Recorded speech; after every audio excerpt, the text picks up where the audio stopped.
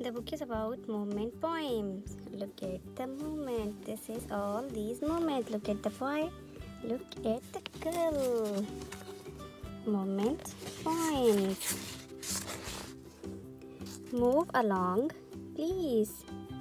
Sally skips. Hamid hops. Charlie crawls. And Frankie flop. All these are movements. Rupinder roll. Katy Creep, Samina Stroll, and Laura Leap.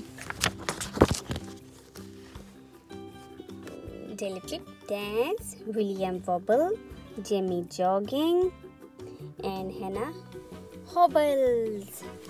Jack Jump, look at the Jack Jump. Steven's Talk, Richard Run, and I walk. Look at me, I walk.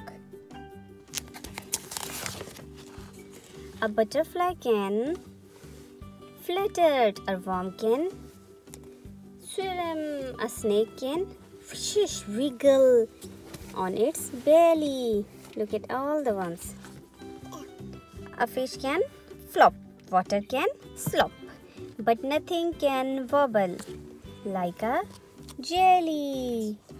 Bubble. Look at the mom and the baby. One step, two step, a baby told her. Three step, four step, a baby bubble. Five step, six step, the baby falls flat. My mama say, my son mama says I used to do that. Hmm. My machine, it's got knobs you can wiggle and bells you can ring. It's got bits you can wiggle and the things we can ping.